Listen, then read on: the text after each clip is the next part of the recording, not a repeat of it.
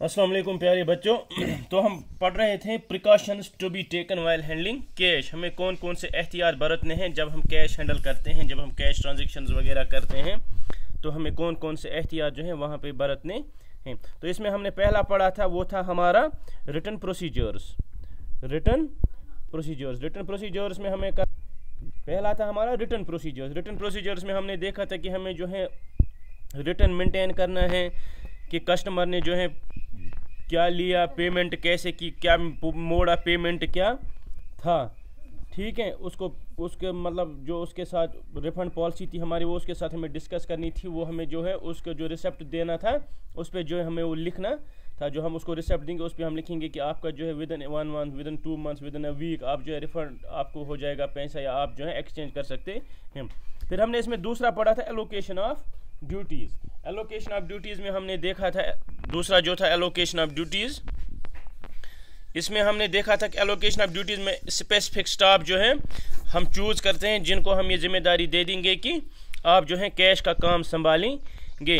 तो हर किसी बंदे को जो है, इसमें हम, अगर से हमारे पास ऑर्गेनाइजेशन में दस एम्प्लॉयज़ हैं तो दस के दस जो हैं, वो नहीं करेंगे इसके साथ डील बल्कि दो या तीन को जो हम असाइन करेंगे ये ड्यूटी कैश की तो इससे जो है हमारा रिस्क फैक्टर कम हो जाएगा। तो आज हम इसमें तीसरा पढ़ेंगे। तीसरा इसमें जो है वो है employee background checks employee background checks employee background checks जो हम एम्प्लॉयज़ जो हैं, इसके लिए जो हम असाइन जिनको ये ड्यूटी हम एलोकेट करते हैं, जिनको हम ये ड्यूटी असाइन करते हैं कैश की कैश हैंडलिंग की ड्यूटी हम जिन एम्प्लॉयज़ को देते हैं, हमको क्या करना है? उन एम्प्लॉयज़ का while selecting the employees for handling cash receipt as part of their duties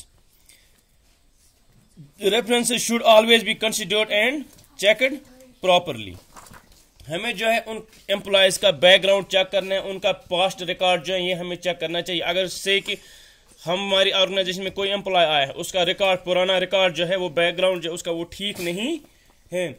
उसने कहीं पे जो है कोई ऐसा मसला किया कोई ऐसा इशू बनाया है जहाँ पे प्रॉब्लम हुई हो तो हमें ये बनता है फिर कि ये हमारी फिर ड्यूटी होती है कि हम जो उस बंदे को कैश की जो है ड्यूटी उस पर असाइन ना करें उस पर वो ड्यूटी हम ना दें उस बंदे को। सो so, इन चीज़ों से बचने के लिए हमें क्या करना चाहिए? हमें जो है एम्प्लॉय जो है एम्प्लॉय का बैकग्राउंड चेक करना होगा। एम्प्लॉय का बैकग्राउंड चेक करने से क्या होगा? इससे जो है हमारी रिस्क फैक्टर्स कम हो जाएँगे। जब हम प्रॉपर एक चेकअप करेंगे रेफरेंसेज चेक करेंगे कि ये जो है बंदा किसके थ्रू आया है, कैसे आया है, ये इसका फैमिली बैकग्राउंड क्या है, इसका जो यहाँ पे इसने पहले जो काम किया है, वहाँ पे इसका रिकॉर्ड कैसा था, ये सब जो है हमें क्या करना है, ये सब हमें चेक करना है। जब हम ये सब चेक करेंगे उससे क्या होगा? वो हमारी अपनी सेफ्टी के लिए, हमारे ऑर्गेनाइजेशन के स्मूथ रन के लिए जो है, वो ज़रूरी है। तो एम्प्लॉय बैकग्राउंड के बाद आता है चौथा, इसमें एम्प्लॉय ट्रेनिंग क्या आता है? एम्प्लॉय ट्रेनिंग एम्प्लॉय ट्रेनिंग जो हमारे एम्प्लॉय हैं एम्प्लॉय ट्रेनिंग ये। एम्प्लॉय ट्रेनिंग में आता है कि जिन एम्प्लॉयज़ को हम जो है अब सिलेक्ट करते हैं किसके लिए? जिन एम्प्लॉयज़ को हम सिलेक्ट करते हैं कैश ट्रांजेक्शन के लिए कैश हैंडलिंग के लिए। It is responsibility of the organization एक ऑर्गेनाइजेशन की उस रिटेलर जो है वहाँ पे आउटलेट जो उसका ओनर है, उसकी जो है ये उसकी रिस्पॉन्सिबिलिटी है, वो क्या करें? ये जो है एम्प्लॉयज़ इनको ट्रेनिंग दे, जिनका भी कैश के साथ कैश ट्रांजेक्शन के साथ रिसेप्ट वगैरह के साथ, इसके साथ जिनका भी काम है, जिनको भी इसके साथ डील करना है, उसको चाहिए कि इन सबको एक प्रॉपर ट्रेनिंग दे। प्रॉपर ट्रेनिंग के बाद जो है वो अपनी ड्यूटी जो है अच्छे से जो है परफॉर्म कर सकते हैं। वहाँ पे उनको बताया जाएगा, सिखाया जाएगा कि आपका जो है कैश आप कैसे हैंडल करेंगे, आप कैश ट्रांजेक्शन कैसे करेंगे कस्टमर को अगर मतलब उसको बताना है कुछ, इसका रिफंड्स वगैरह का एक्सचेंज पॉलिसी का, वो आप कैसे बताएँगे? तो इसमें जो है ये एम्प्लॉय की ट्रेनिंग ज़रूरी है। ट्रेनड एम्प्लॉय जो होगा, वो अच्छे से जो है कस्टमर को हैंडल कर सकता है। उससे भी जो है हमारी ऑर्गेनाइजेशन को आउटलेट को फ़ायदा हो जाएगा। उसके बाद आता है हमारा इसमें physical security physical security means measures promoted a safe working